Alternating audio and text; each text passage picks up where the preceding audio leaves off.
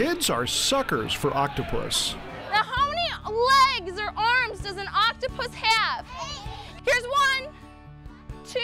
Sea Life Aquarium's Octopus Garden Workshop for young learners takes them from the ocean floor Wake up, octopus, wake up!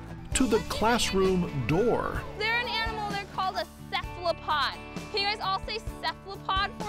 Could actually feel or touch like they did an activity where they built the pipe to feed an octopus. I think that really helps them remember the what they learned. You fed the octopus. You guys fed the small octopus.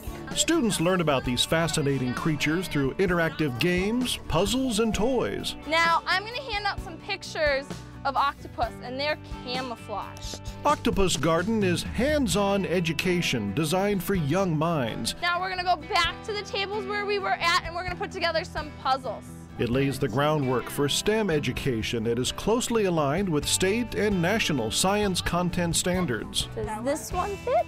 There you go. The students get to do hands-on activities where uh, they might not have the opportunity where we're teaching in the classroom. It gives them better understanding of the science content standards in the science curriculum. Octopus Garden also builds teamwork and creativity and takes young students from this It means to this. What does cephalopod mean?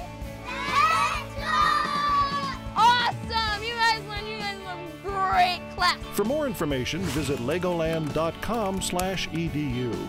To reserve a class, click the pre-registration link or please call 760-438-5346.